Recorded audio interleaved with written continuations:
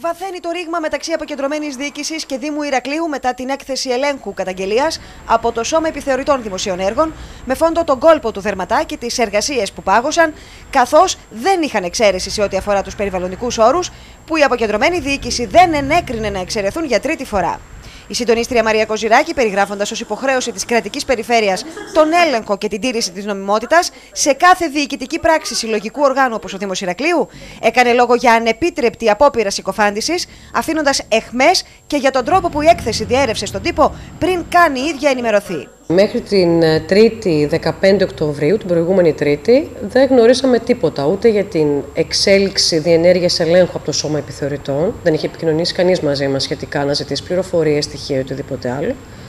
Ε, και δεύτερον, το πληροφορηθήκαμε καταρχήν από μια τοπική εφημερίδα του Ηρακλείου το πρωί της Τρίτης και στη συνέχεια έφτασε συστημένος φάκελος εμπιστευτικός στην αποκεντρωμένη διοίκηση ε, δηλαδή έγιναν όλα λίγο περίεργα, ήταν λίγο ξύμορο όλο αυτό που συνέβη. Ε, σε κάθε περίπτωση μάλλον μας, ε, μας πρόλαβαν τα γεγονότα από ό,τι φαντάζομαι.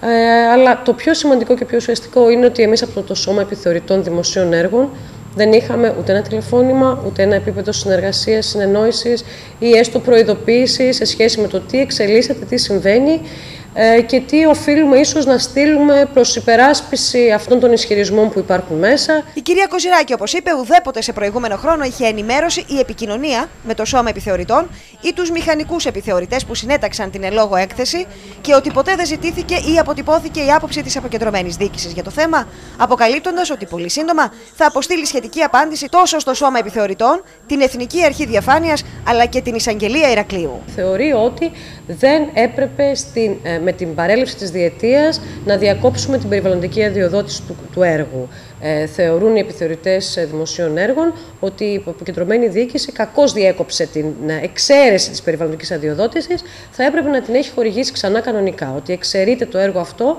από την περιβαλλοντική αδειοδότηση, τρίτη φορά ήταν η αίτηση σε σειρά και πλέον σχεδόν των τριών χρόνων της έναρξης του έργου. Η κυρία Κοζηράκη στις δηλώσεις της ανέφερε ότι η έκθεση του Σώματος Επιθεωρητών διατυπώνει κυρίως νομικούς ισχυρισμούς σχετικά με την εξαίρεση περιβαλλοντικής αδειοδότησης του έργου, καταλήγοντας την πρόταση διερεύνησης τυχών πειθαρχικών και ποινικών ευθυνών για την αποκεντρωμένη διοίκηση και σε καμία περίπτωση, όπως είπε, δεν καλύπτει τη συνέχιση των εργασιών χωρίς την απαιτούμενη έγκριση, καθώς το έργο εξακολουθεί να βρίσκεται έξω από κάθε θεσμικό αδειοδοτικό πλαίσιο. Σε καμία περίπτωση δεν είναι αδειοδότηση. Είμαστε ακριβώς στην ίδια κατάσταση όπου φαντάζομαι ο Δήμος μπορεί να κρίνει και να αιτηθεί αντίστοιχα τη διαδικασία που νομίζω ότι κουμπώνει το έργο αυτό έτσι ώστε να είναι νόμιμο για να συμβεί.